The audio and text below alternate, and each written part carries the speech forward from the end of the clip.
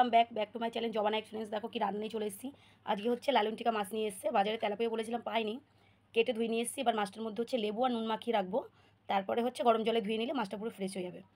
পুরো সাদা হয়ে যাবে। মাছের যে একটা আইসটা গন্ধ থাকে, সেই গন্ধটাও পুরো কেটে যাবে। তো মাছটার মধ্যে নুন আর লেবু মাখিয়ে নেব। আর মাছের ঝালের জন্য নিয়ে নিয়েছি এখানে গোটা জিরে, আদা, কাঁচা লঙ্কা, গোটা শুকনো লঙ্কা। এটা আবার বেটে নেব। আর এখানে হচ্ছে মাছের জন্য টমেটো কেটে নিয়েছি। আর এখানে আমরা ছুলে নিয়েছি মেশিনে ঘষে এটা চাটনি করব। চলো তখন দেখাবো। আর এখানে আলু ভাজা করব, আলু কেটে জলে ধুয়ে নিয়েছি। তো আজকের মাছের ঝাল আর আলু ভাজা আর চাটনি। চলো সাথে থাকো, দেখতে থাকো। আমি মশলা বেটে নেব। আদা, কাঁচা লঙ্কা, জিরা, শুকনো লঙ্কা। এখন মশলাটা বেটে নেব। হয়ে গেছে, এবার আমি আলুটা ভেজে নেব। মশলা বাটাটা হয়ে গেছে, এবার আমি তুলে নেব। দেখো আজকে আমার কতখানি তেল পড়ে গেছে। অনেকটা আজকে আমার সর্ষের তেল পড়ে গেছে।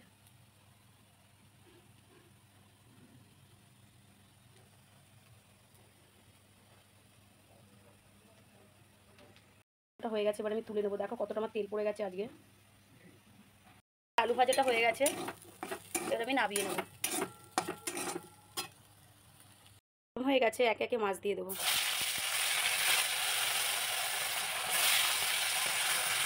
তিনটে তিনটে করে মাছ ভেজে নেব, নাহলে ভেঙে যাবে।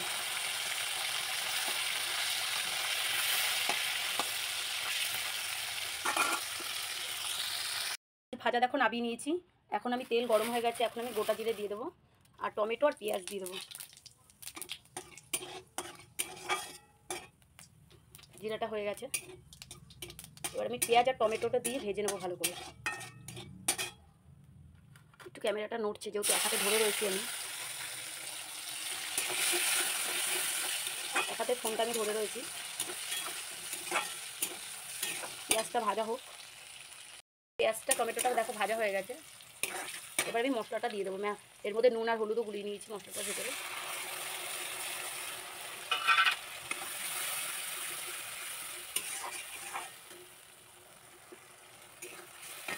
মশলাটা কষিয়ে নেব। মশলা দিয়ে তেল ছেড়ে দিয়েছে, মশলা কষানো হয়ে গেছে, এবার আমি জল দিয়ে দেবো। এবার আমি জল দিয়ে দেবো।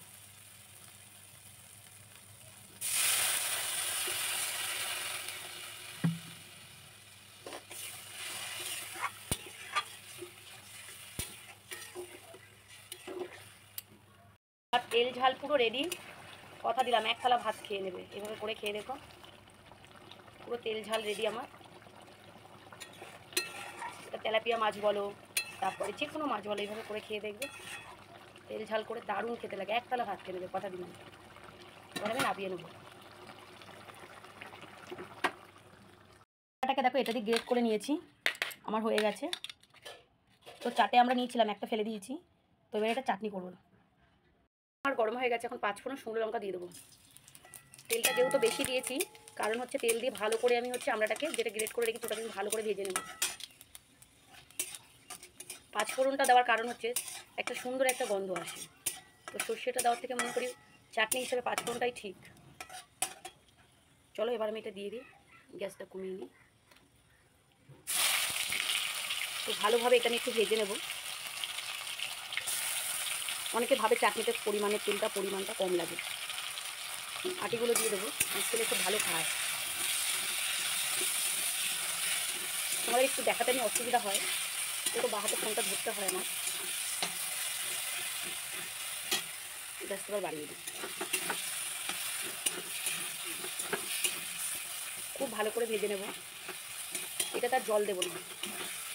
ভালো করে ভেজে নিই তারপরে চিনিটা দেবো। হালকা হলুদ আর নুন দেবো। দেখতে পাচ্ছ পুড়ে যাচ্ছে, এবার আমি চিনিটা দিয়ে দেবো। যেহেতু জল দেবো না, চিনিটা একটু বেশি দেবো।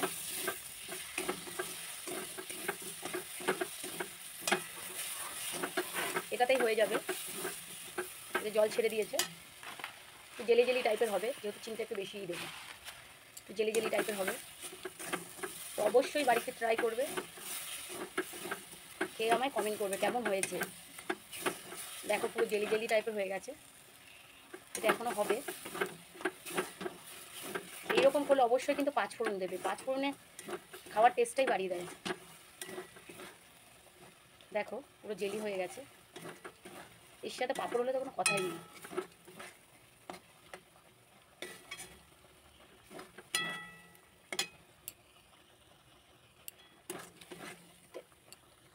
আমরা জেলি রেডি আমার। এবার আমি নামিয়ে নেব।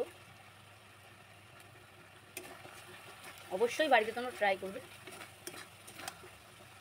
কে কে খাবে, চলে এসো।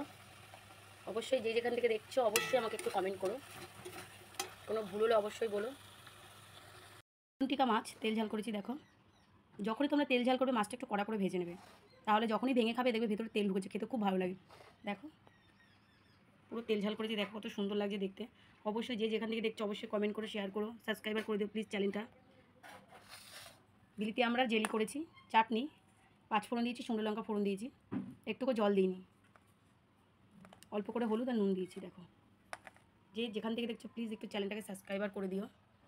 একটু শেয়ার করে প্লিজ কেমন করছি, কেমন হয়েছে? নতুন খুলেছি ইউটিউব চ্যানেল ঠিকঠাক, অনেক কিছু জানি না প্লিজ তোমরা একটু সাথে থেকো না হলে কিছু করতে পারব না। অনেক আশা নিয়ে ইউটিউবের চ্যানেল খুলেছি প্লিজ তোমরা সাথে থেকো।